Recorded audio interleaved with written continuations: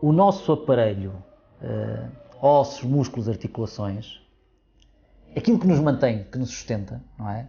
Uh, desde o pescoço, desde a coluna cervical até aos pés, nós sustentamos em ossos, músculos e articulações. As lesões musculoesqueléticas uh, são lesões em qualquer uma destas estruturas ligadas ao trabalho. Toda a lesão que acontece no aparelho comotor, músculo-esquelético, nos músculos e uh, eh, um, ossos, e nas estruturas que ligam os músculos aos ossos, que são os tendões, daí que são muito frequentes as tendinites, que são inflamações dos tendões, por práticas repetidas no local de trabalho. É a pessoa que não tem o visor adequado, a altura adequada, não tem a cadeira adequada, faz um esforço repetitivo sem estratégias de resiliência ou de treino que lhe permita compensar. Insista com o seu médico, sempre que alguém lhe disser numa consulta, isso provavelmente é do trabalho. Insista com o seu médico tão, tão simplesmente com isto. Se o doutor acha isso, não, se não se importar, notifique como doença profissional. Portugal tem uma taxa baixíssima de doenças profissionais porque não são notificadas. E mais, ao contrário das DDOs, das doenças de declaração obrigatória infecciosas, as doenças profissionais não precisam de qualquer tipo de característica de confirmação. Basta a suspeita. Ou seja, qualquer médico deve notificar perante a suspeita. Eu não preciso ter nenhuma confirmação. Você aparece-me com uma risartrose, eu notifico. Claro que se eu tiver exames acrescento, se não, o Centro Nacional há de solicitar depois exames e há de avaliar numa junta de médicos peritos. São direitos, porque depois tudo isto no dia a dia da pessoa interfere. Uma baixa por doença profissional é completamente diferente em termos de regalias de uma baixa normal, doença natural. A pessoa que tem uma, uma doença profissional tem benefícios, inclusive na sua reforma. E portanto, estes benefícios estão a ser retirados às pessoas porque alguém não notifica. E se não se notifica, a pessoa nunca sabe que tem.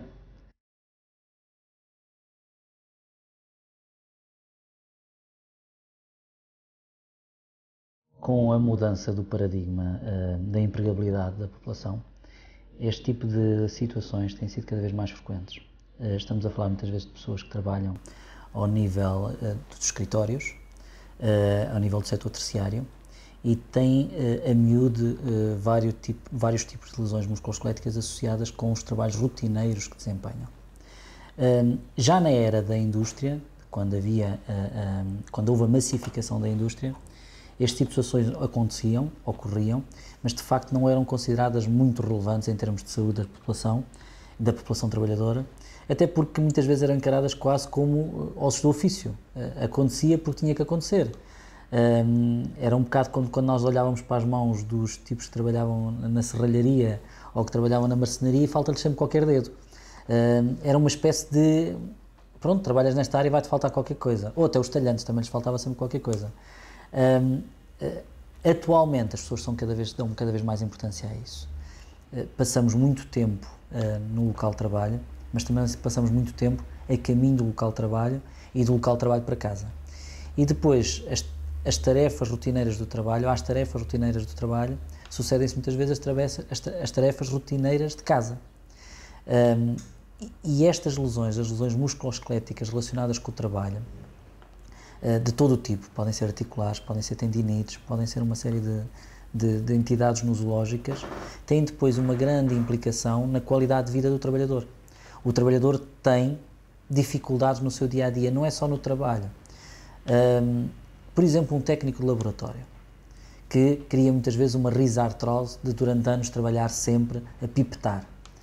Esta lesão, que é uma típica lesão ligada ao trabalho, hum, é uma lesão que depois vai ter implicações no seu dia a dia. Alguém que tem dificuldade em mobilizar o polegar, um ou os dois, vai ter dificuldades no seu dia a dia em fazer quase tudo.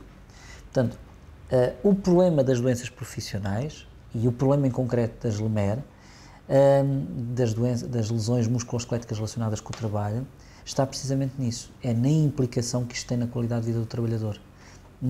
No quanto ela vai para lá do trabalho.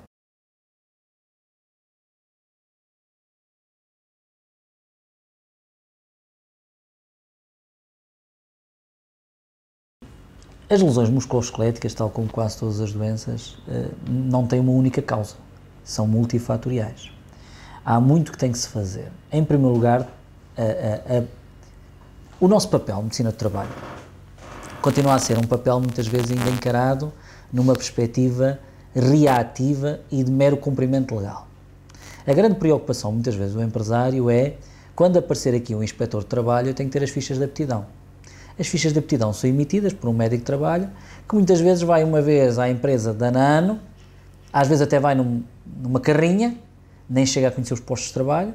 O trabalhador vai lá, faz a consulta e fica uh, com uma ficha de aptidão, que à partida, segundo o legislador, atesta, se tiver menos de 50 anos, que ele está ótimo durante dois anos. Prazo de validade de dois anos. No fundo é isto que a ficha de aptidão diz. Uh, ora, isto é medicina de trabalho clássica vista de uma forma clássica. Nós não falamos em saúde ocupacional assim no século XXI. Nós falamos de promoção da saúde no local de trabalho. Nós falamos de toda uma visão do indivíduo numa perspectiva conjunta. Nós queremos que o indivíduo seja um indivíduo saudável, porque um indivíduo saudável vai ter muito mais, maior resiliência, resistência a este tipo de situações. Claro que se eu sou um indivíduo obeso, com excesso de peso, se eu, além de ter o meu excesso de peso, trabalho numa atividade de risco para os meus tornozelos e para os meus joelhos, aí eu vou ter uma lesão muito mais grave que uma pessoa que não tem excesso de peso, porque os meus joelhinhos e os meus tornozelos, à partida, já estavam a ser desgastados pelo meu peso.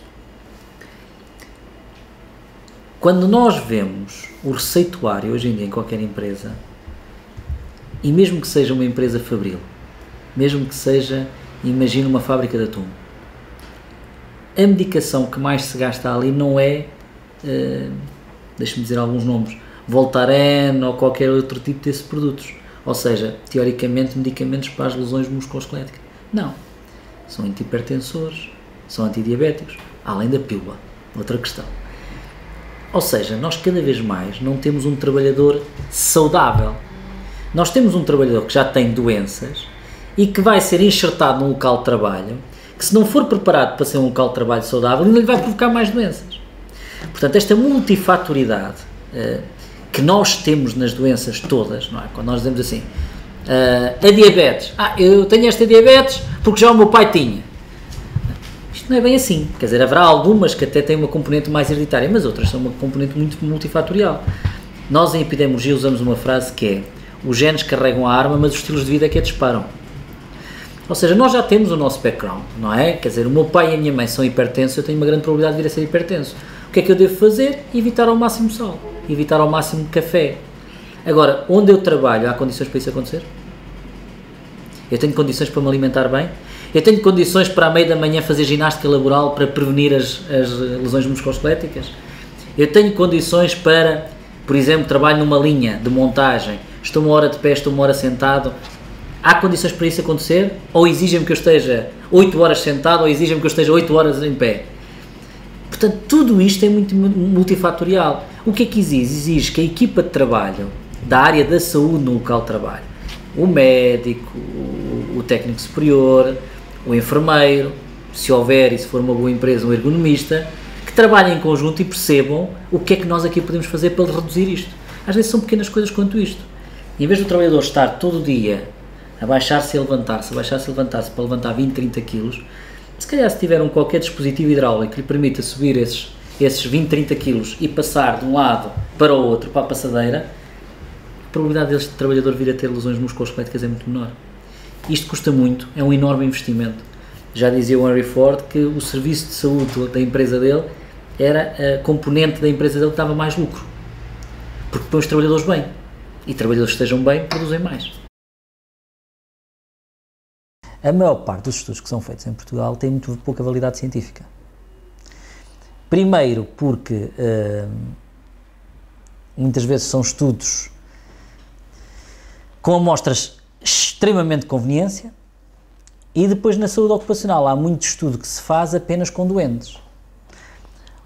Ou seja, é um bocado bizarro. Era a mesma coisa que você estudasse a diabetes na população usando apenas a população que uh, vai à consulta de diabetes num determinado hospital. Isso faz-se muito na área da saúde ocupacional em Portugal. Fazem-se muitos estudos pegando na população doente.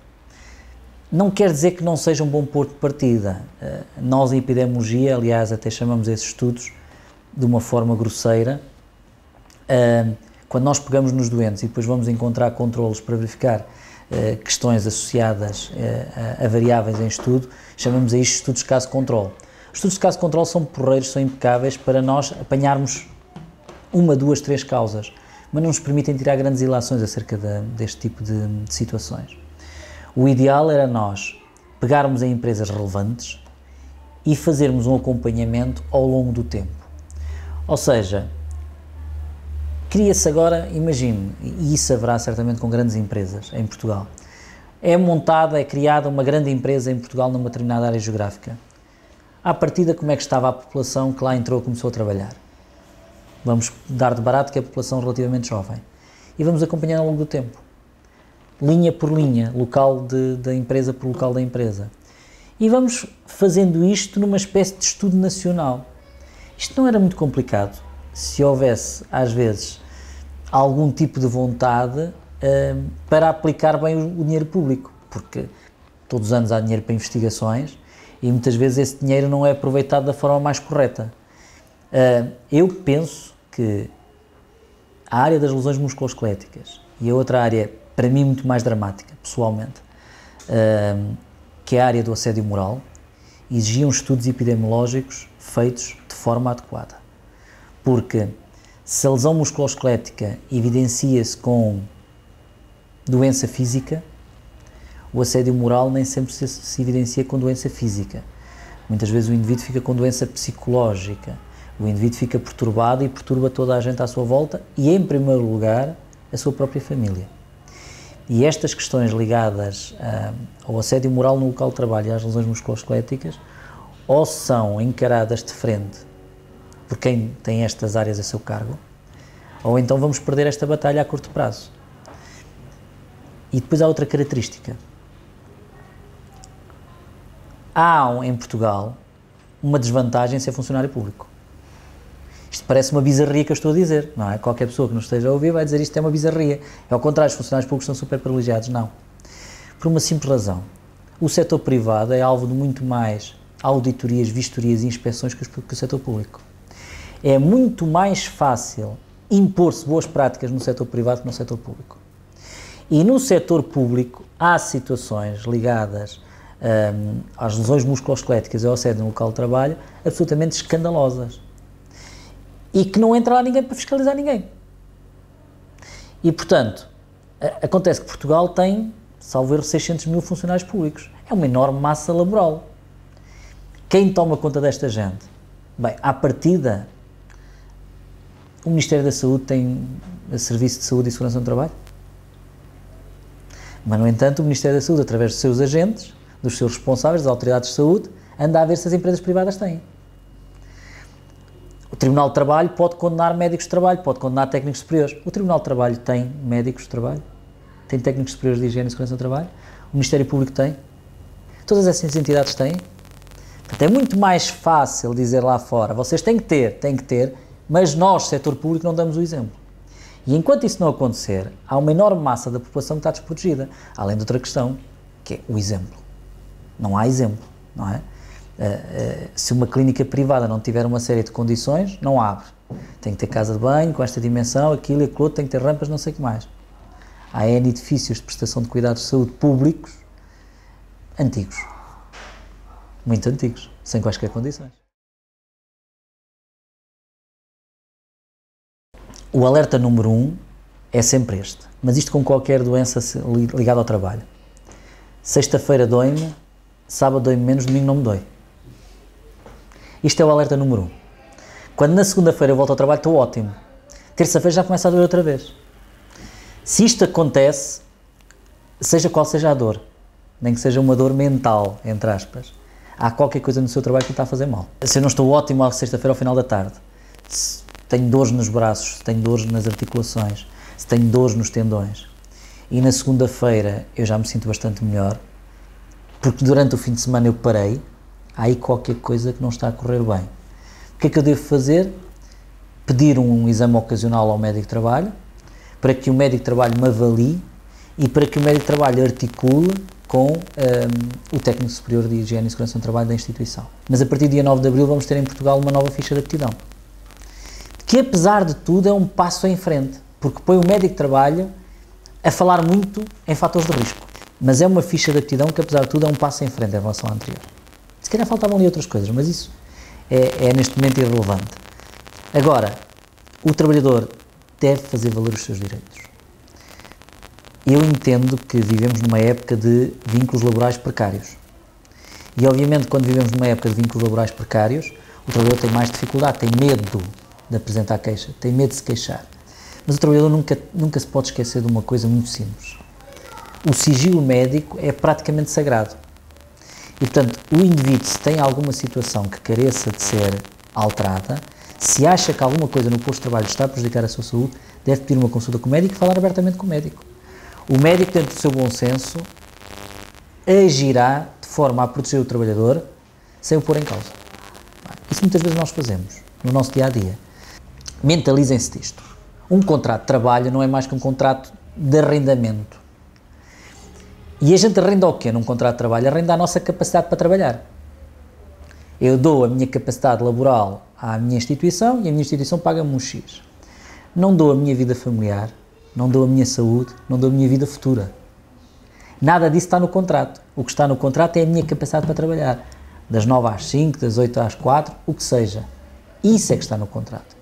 Portanto, nunca em circunstância alguma o trabalhador deve colocar outros aspectos que não estão no contrato de trabalho não prescinda da sua vida, não prescinda da sua saúde, não prescinda da sua vida pessoal, profissional, por um trabalho que a miúde, ao final de alguns anos, a pessoa olha para trás e diz assim, não valeu a pena porque ninguém me agradeceu. Uh, isto é o maior arrependimento que nós aqui encontramos às pessoas no final de carreira. É as pessoas virarem-se para nós e dizerem assim, trabalhei 30 anos, 40 anos e ninguém me agradece. E isso é uma situação que é tão frequente que nada como eu agora estar a dizer isto é frequente, para a pessoa pensar duas vezes. Uh, se calhar eu hoje devia estar aqui até às 8 e vou ligar à minha prima que vai buscar a minha filha ao colégio ou à creche e não sei o que mais. Não, vai buscar a sua filha ao colégio ou à creche. É muito mais saudável.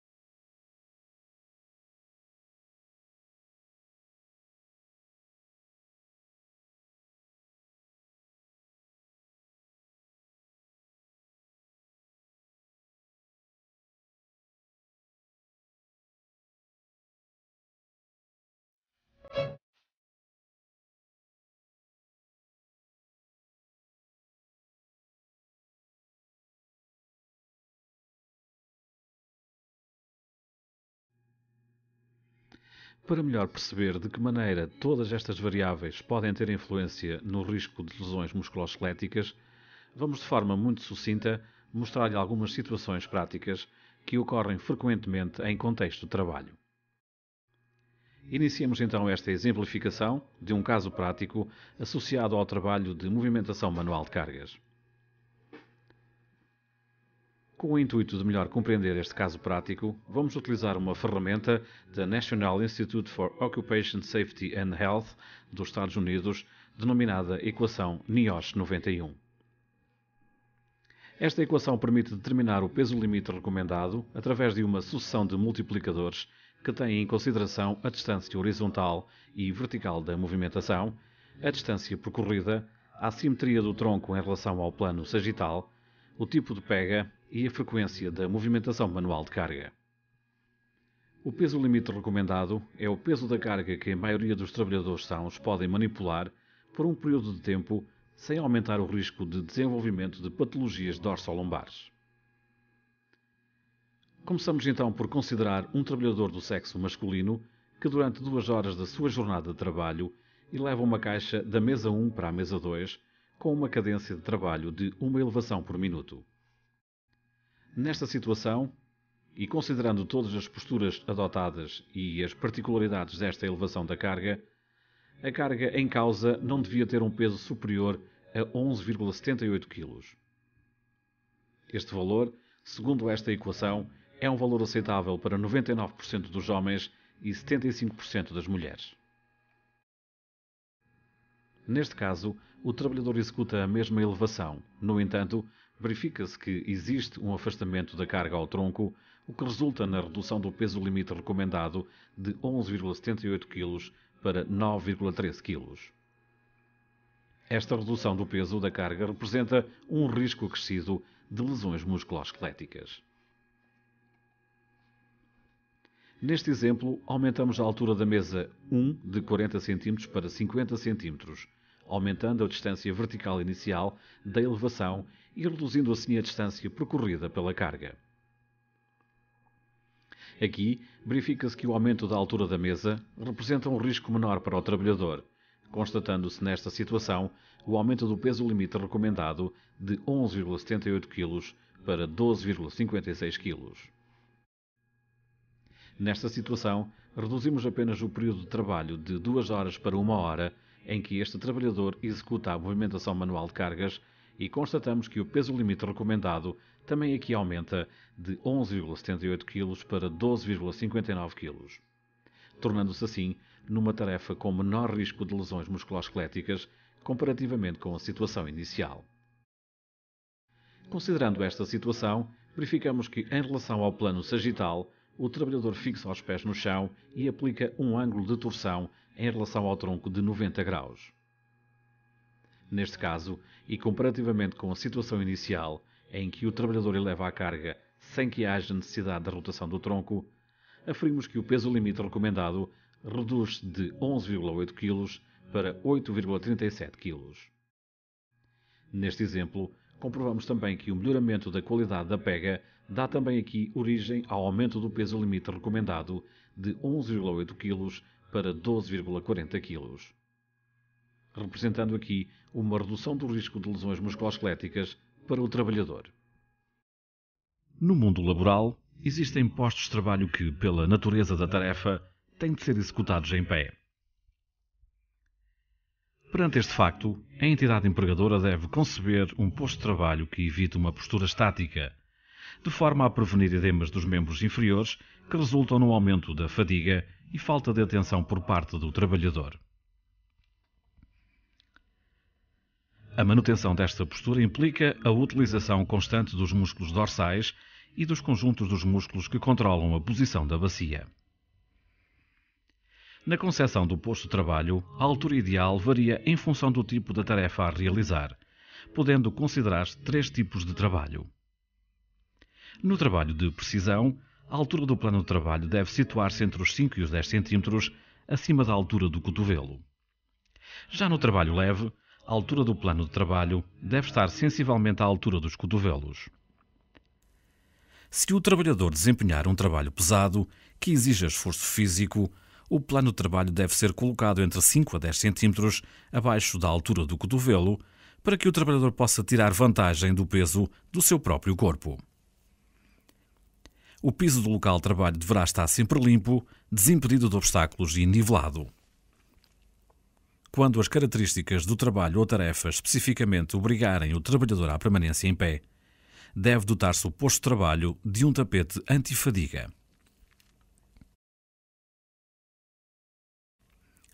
Proporcionar uma postura ereta, frontal e próxima do plano de trabalho. No horário de trabalho, devem estar calendarizados pequenos intervalos ou pausas durante os quais os trabalhadores possam descansar na posição de sentados.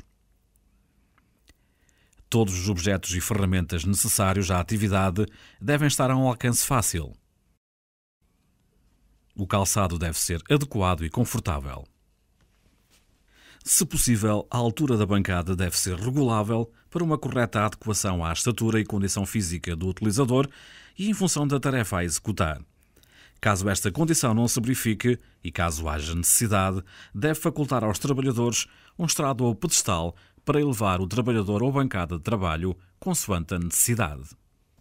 A altura dos objetos e ferramentas deve também ser adaptada à tarefa que o trabalhador realiza. Todos os comandos devem estar localizados a um nível inferior à altura dos ombros do trabalhador. Hoje em dia são inúmeros os trabalhos que implicam o trabalho na posição sentado. Regra geral, a posição de sentado é mais confortável e bastante menos cansativa para os trabalhadores. No entanto, a permanência nesta posição por longos períodos de tempo também não é benéfica, sobretudo para a coluna, que sofre normalmente uma ligeira curvatura, e para as pernas que se encontram fletidas e isentas de movimento. O layout, equipamento ferramentas e mobiliário tem neste tipo de trabalhos um papel muito importante na prevenção e minimização dos riscos profissionais. Projetos inadequados de máquinas, assentos ou bancadas de trabalho obrigam o trabalhador a adotar posturas inadequadas. A concepção do posto de trabalho, no respeitante aos trabalhos na posição sentado, deve, por isso, obedecer a uma série de requisitos. A cadeira deve ser bastante confortável e permitir a regulação dos apoios dos braços, costas e assento. A altura do assento deve permitir ao trabalhador a colocação dos pés sobre o chão, permitindo estabilidade à postura sentada e apoio à perna. Um assento alto provocará uma compressão na parte posterior da coxa e, em contrapartida, um assento baixo provocará uma compressão nas nádegas do trabalhador, dificultando, em ambas as situações, a boa circulação sanguínea dos membros inferiores. O trabalhador que possua a altura do poplíteo menor que a altura mínima do assento deve utilizar um apoio de pés. Os apoios de braços da cadeira devem ser regulados de modo a não condicionarem a aproximação à mesa. O visor deve encontrar-se perpendicularmente às fontes de iluminação, de modo a evitar encandeamentos e reflexos em frente do utilizador, a um braço de distância entre 45 a 75 centímetros.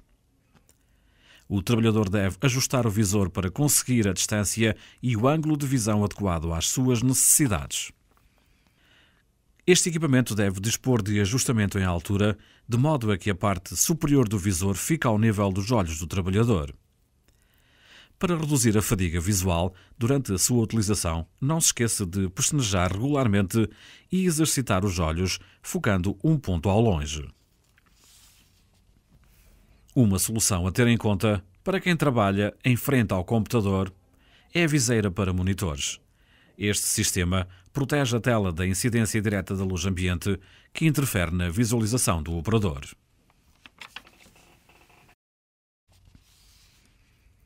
O teclado deve estar centralizado com o monitor de acordo com as suas atividades. Este dispositivo deve estar com as patilhas para baixo, evitando a inclinação do mesmo. O teclado deve ser disposto no posto de trabalho de modo a permitir o apoio do antebraço. O apoio do pulso do teclado deve ser utilizado para evitar a extensão da mão, reduzindo assim a fadiga do trabalhador. Na aquisição do teclado, deve optar por um teclado macio, que reduza a pressão necessária para o acionamento das teclas, assim como um dispositivo que reduza o ângulo de rotação do pulso a quando da digitação. Em suma, quando se encontrar à frente de um teclado, os seus pulsos devem ficar em linha reta, os cotovelos devem ficar perto do seu corpo e os seus ombros devem estar relaxados. O rato deve estar o mais junto possível ao teclado e do lado da mão dominante. Também aqui, o apoio do pulso, na utilização do rato, ajuda a reduzir a fadiga do trabalhador, mantendo o pulso na posição neutral. O rato deve ser usado com o punho na posição mais neutra possível, sem desvios laterais, por isso deve ser ajustável ao formato da mão do trabalhador. Aprenda a utilizar o rato com as duas mãos, revezando-as. Na concessão do posto de trabalho, deve ainda assegurar o espaço livre para as pernas sob o plano do trabalho, retirando material ou equipamento desnecessário. Deve ainda organizar o material no posto de trabalho de acordo com a frequência de utilização. Os objetos usados em maior frequência devem estar localizados na zona de mais fácil alcance, que representa o alcance associado à distância do cotovelo até à mão. O alcance associado à distância do braço estendido sem esforço, denominado acesso ocasional, deve ser utilizado pelo trabalhador para colocar elementos que se usem apenas com alguma frequência. A área de acesso raro, que representa o alcance superior à distância alcançada pelos braços, deve ser utilizada para a colocação de dispositivos que menos se utilizem, reduzindo assim as posturas inadequadas no local de trabalho. Em suma, para ter uma postura adequada, regula a cadeira de forma a apoiar bem as costas e ficar com os cotovelos ao nível do plano de trabalho. Adotar um apoio de pés se depois da regulação anterior não conseguir apoiar bem os pés no chão. Manter os cotovelos junto ao tronco. Manter o alinhamento da cabeça e dos ombros face ao tronco. Evitar a rotação e a inclinação lateral. Evite segurar o escutador do telefone entre a cabeça e o ombro enquanto usa o teclado.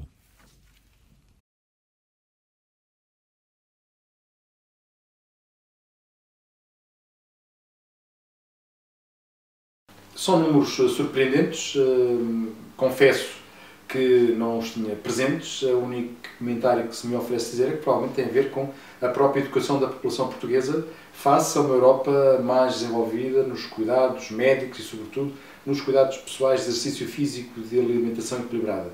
Esta questão do exercício físico e da alimentação equilibrada são questões relativamente novas no país, em Portugal, desde provavelmente depois do 25 de Abril e muito eh, provavelmente nos últimos 10, 15 anos, daí que eh, estas questões musculoesqueléticas nos portugueses possam ser resultado ainda de uma educação que não terá tido em conta o exercício físico um, rotineiro, desde, desde ter idade, com um, professores durante a escola primária, o desporto escolar, o desporto federado, são realidades que há muito no centro e no norte da Europa estão disseminadas e que em Portugal só há pouco tempo começaram a dar os seus primeiros passos. Daí que é a minha única interpretação, é por aí, uh, por falta eventual de alguma educação física de base em Portugal em comparação com outros países da Europa.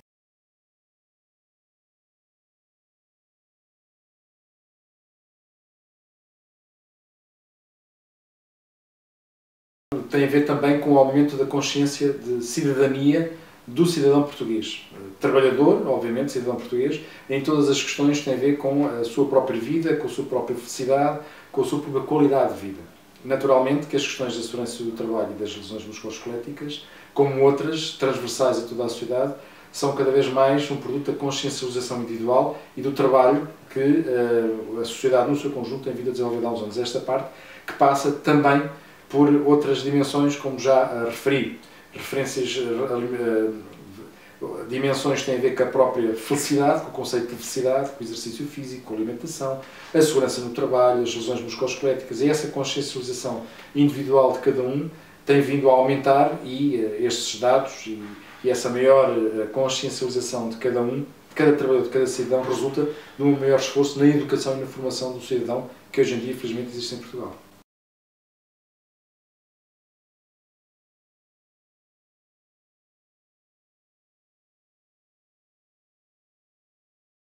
Esse plano existe internamente para os funcionários da ACTI, existe também externamente na nossa vertente de prevenção de acompanhamento de, nas empresas e na sua vertente inspectiva, naturalmente. Vai ser feito com o esforço do Núcleo da Segurança do Trabalho e com todos os funcionários da ACT, de uma forma imaginativa e integrada, e na vertente externa, numa, no, nas ações de acompanhamento com os nossos técnicos de prevenção de segurança do trabalho e com os nossos inspectores de trabalho que diariamente visitam as empresas. Ao contrário das outras respostas que eu já referi, eu julgo que a dimensão da segurança do trabalho das salões de entrar 100% eh, e consolidar, ser consolidada na sociedade portuguesa e nos cidadãos. Ainda não temos essa consciência da segurança do trabalho como gesto holístico, integrado em cada gesto técnico, em cada local de trabalho. A segurança do trabalho ainda não faz parte, infelizmente, das preocupações da sociedade portuguesa. Reparem como eh, muitas vezes aparecem notícias de acidentes rodoviários nas primeiras páginas e nas, e nas, e nas primeiras notícias, nos grandes jornais diários das, dos órgãos de comunicação social, e muito bem, mas não, nunca vi nenhum acidente de trabalho numa primeira página do jornal ou na abertura de um jornal.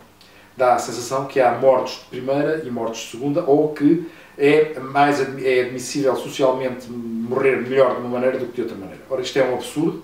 Morrer é o fim da vida em qualquer circunstância e enquanto não, não existir um sobressalto coletivo no que diz respeito à segurança no trabalho, vão continuar a existir pessoas, trabalhadores, que neste momento estão a morrer e que poderiam perfeitamente estar vivos e na nossa companhia pelo simples facto de estarem a trabalhar.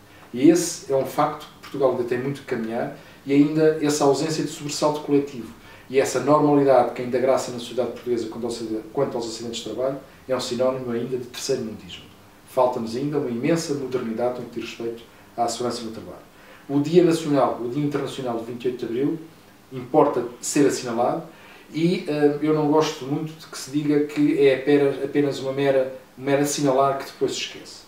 Esses, esses dias, esses dias assinalados, os seminários, os workshops, as ações de rua, são tudo âncoras que nós temos que privilegiar e que temos que, com persistência, uh, trilhar num caminho de divulgar esta problemática e, sobretudo, a prevenção de riscos profissionais e, a, uh, e a, o aumento e a divulgação do trabalho digno em todos os locais de trabalho. O Dia Nacional, o Dia Internacional, é um marco fundamental que todos os anos nós podemos aproveitar para difundir e disseminar a matéria da segurança e saúde do trabalho e uh, a relevância que tem para a vida e para a manutenção de vida de quem se levanta diariamente, vai para o seu trabalho, desenvolve a sua atividade e pode regressar tranquilamente a casa para junto dos seus.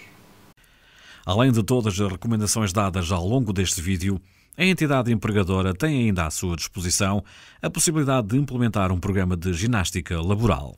A ginástica laboral é uma forma de atividade física realizada na jornada laboral e que decorre no próprio local de trabalho. É uma atividade que tem uma curta duração, funcionando como uma pausa ativa, não causando fadiga física nem transpiração e não sendo por isso necessário qualquer equipamento específico. A ginástica é composta por exercícios físicos, alongamentos, relaxamento muscular e flexibilidade das articulações e é uma prática coletiva, promovendo a descontração e interação entre os colegas de trabalho.